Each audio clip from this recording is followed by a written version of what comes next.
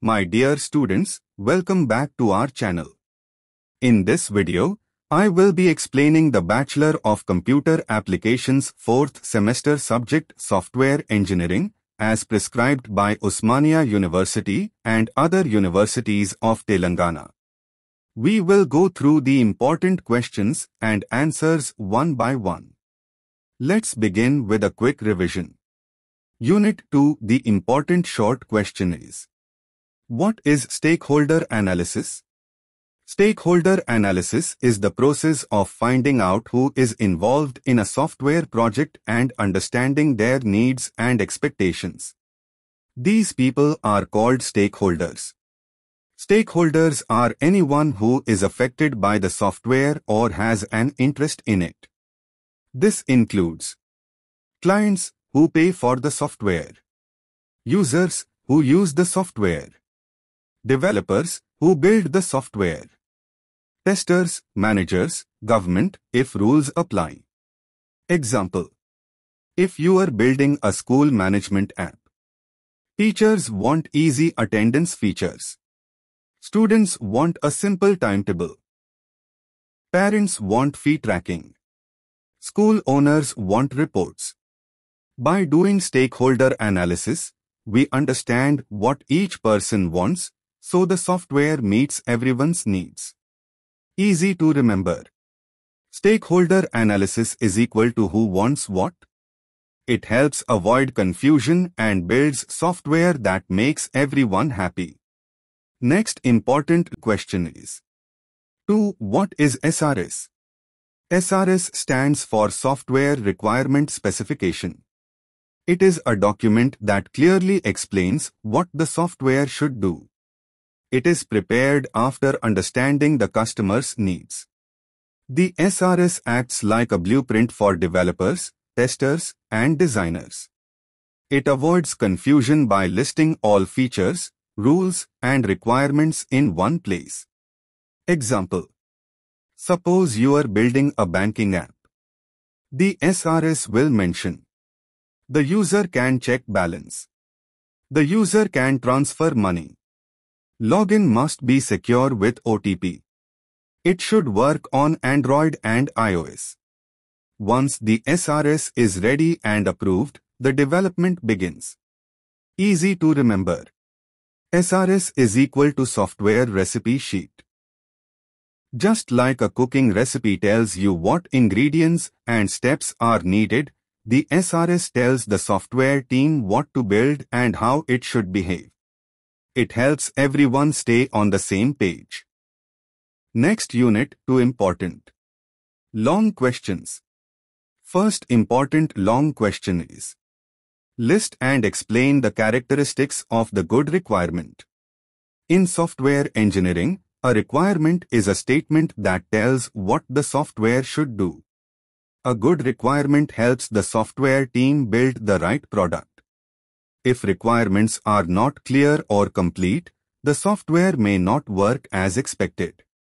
So, good requirements must follow certain characteristics. Here are the main characteristics of a good requirement. 1. Correct. It should clearly say what the user really wants.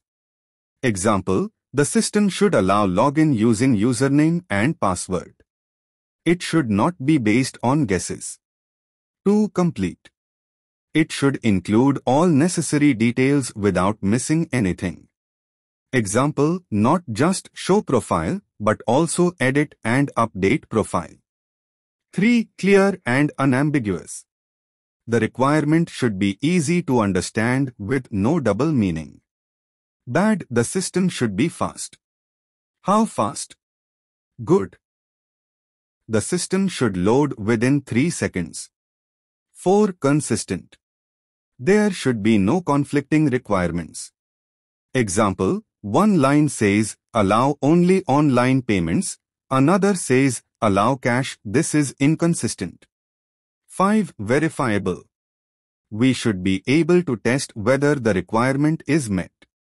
Example, system should send email after registration. We can test this. 6. Feasible. It should be possible to implement using current tools and technology. Example, don't ask for mind-reading features. Keep it practical. 7. Modifiable. The requirement should be written in a way that it can be changed or updated easily in future. 8. Prioritized. We should know which requirements are most important, so they are developed first. Easy way to remember. C3F MVP. Correct, complete, clear, feasible, flexible, modifiable, verifiable, prioritized. Summary. A good requirement is like a clear instruction manual. It helps the software team build exactly what the user needs, no more, no less. Next important long question is to List and explain the validation techniques. In software engineering, validation ensures that the software meets the user's needs and works as expected. It checks if we are building the right software by confirming it matches the requirements and the customer's goals. Here are some key validation techniques. 1. Reviews. In this technique, a team of people, developers, testers, and stakeholders reviews the software to make sure it meets the requirements. They look for errors or missing details. Example, a team might review a mobile app design to ensure it matches what the client wants. 2. Walkthroughs. This is when a developer or designer presents the software or its parts to others to explain how it works and get feedback. Example, a developer might demonstrate a new feature in a project meeting to ensure everyone understands it and it meets the requirement. 3. Inspections. This technique is like a detailed examination of the software by experts. It's a formal process where documents and code are checked for quality and correctness.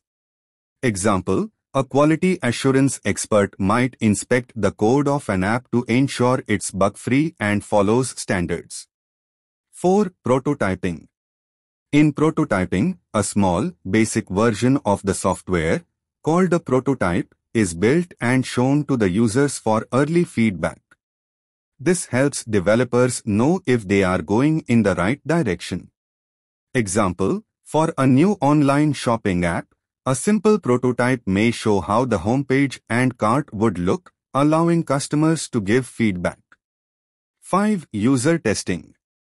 This involves real users testing the software to make sure it works well and is easy to use. Feedback is collected to improve the system. Example, a beta version of a mobile game might be given to a small group of users and their feedback is used to fix bugs before the official release. 6. Acceptance testing. This is the final check to make sure the software meets the customer's requirements. It is done by the client or end users. Example, before launching a food delivery app, the client tests it to ensure everything works as expected, like order placement and payment. Easy way to remember. RWIPU, reviews, walkthroughs, inspections, prototyping, user testing. Summary. Validation is about making sure the software does what it is supposed to do and meets the needs of the user. It's like checking if a dish tastes good before serving it to guests. Next important long question is, 3. Explain about the process of requirement change management. Requirement change management is the process of handling any changes that happen to the requirements of a software project after development begins. Requirements may change due to various reasons such as new customer needs, market changes, or unexpected technical challenges. Without a proper process for managing these changes, the software project can become confusing, delayed, or even fail. So, a well-organized change management process ensures the project stays on track. Here are the main steps in requirement change management. 1. Identifying the change. The first step is to identify that a change is needed. This could be because the customer wants a new feature or there is a bug in the current design. Example, a customer asks for an additional payment method in an existing app. 2. Evaluating the change. Next, the team evaluates how the change will impact the existing system. They look at things like cost, time, and resources. Example, the team will check if adding a new payment method will require redesigning the payment process or the user interface. 3. Documenting the change. Once the change is approved, it's documented properly so that everyone involved in the project knows what is changing. This documentation is added to the Software Requirement Specification SRS. Example, the new feature to support the payment method is documented in the SRS, including technical details. 4. Approving the change. The proposed change needs approval from stakeholders like the customer, project manager, or team lead before it's added. Without proper approval, the project may face scope creep, uncontrolled changes. Example, the project manager confirms the new feature fits within the budget and timeline. 5. Implementing the change. After approval, the development team makes the necessary changes to the software, ensuring the changes are properly tested. Example. The development team writes code for the new payment method and tests it. 6. Monitoring and tracking. The change is tracked to ensure it is working as expected and doesn't cause problems in the system. Example, after implementing the new payment method, the team monitors for bugs and checks user feedback. Easy way to remember. IDAIM, identify, evaluate, document, approve, implement, monitor. Summary Requirement change management helps handle changes in a structured way. It ensures that the software remains aligned with the customer's needs without causing confusion or delays. Next important long question is 4. Explain the traceability and validation specification. Traceability and validation specification are two important concepts in software engineering that help ensure the software meets the customer's needs and works as expected. 1. Traceability Traceability refers to the ability to track and link the software's requirements from the start to the end of the project. It helps in ensuring that each requirement is met and properly implemented. Why is traceability important? It ensures no requirement is left out. It helps track the progress of development. It makes it easy to verify that the software fulfills all the customer needs. Example. Let's say you are building an online shopping app. A requirement might be the user should be able to add items to the cart. With traceability, you can link this requirement to the actual code written for the cart feature, ensuring that the feature is implemented and tested properly. Traceability is usually managed using a traceability matrix, which shows the relationship between requirements and their implementation. 2. Validation Specification Validation specification is the process of defining how the software will be tested to ensure that it meets the requirements and works correctly. It specifies the testing criteria, methods, and conditions used to check the software. Why is validation specification important? It ensures the software works as expected. It prevents errors and bugs by testing the system before release. It ensures the software delivers value to the customer. Example. If the requirement is the app should display a user's order history, the validation specification would describe how to test this feature, such as Create test cases that check if the correct order history is shown for different users. Define the expected outcome for valid and invalid inputs. Easy way to remember. Traceability is equal to track requirements. Validation specification is equal to test the software. Summary Traceability ensures all requirements are tracked and implemented correctly, while validation specification defines how to test the software to make sure it works as expected. Together, they ensure that the software meets the customer's needs and functions smoothly. I hope you understand easily each question. All the best students for your upcoming exam. For other subject quick revision.